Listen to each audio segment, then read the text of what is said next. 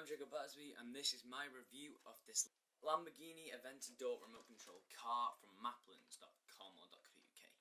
Now, this is like a shop that's like Radio Shack if you're in the US. Like Radio Shack, but for the UK area.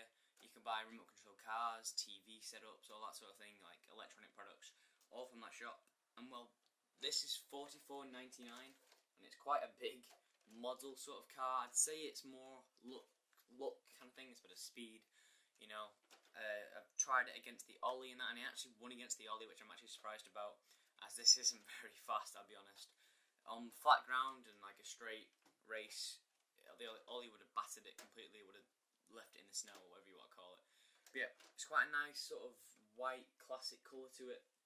And obviously a black back and black rims. Quite simple stuff. It looks very good. Know, so if you had it on a shelf like that, it'd look very good. Hopefully you enjoy the pictures that are on now. This is actually quite a good camera that I'm shooting with, so it's kind of like 4K video. So click on 4K, you'll see these beautiful pictures coming up. I like the detail in the engine that there is, the detail in the rims, detail in the logos, everything about it is very nice.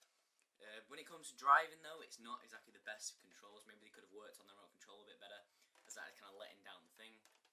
It's a bit flimsy and the move, it kind of moves like the thumbsticks and that. They move quite a lot more than you'd want them to. If it was more like a sturdy control pad like the Xbox One controller or something like that, it'd be perfect.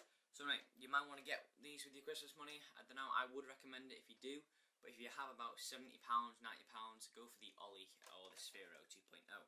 If you don't know which one to get, go check out my comparison video, it'll be in the description below. And if you'd like to check out that race between the Lamborghini and the Ollie by Sphero, check out the description as well, it'll be the second link so yeah, thank you for watching this quick review about the Lamborghini Aventador from Maplins.co.uk. The link will be below to buy this thing, and I'll see you in the next one.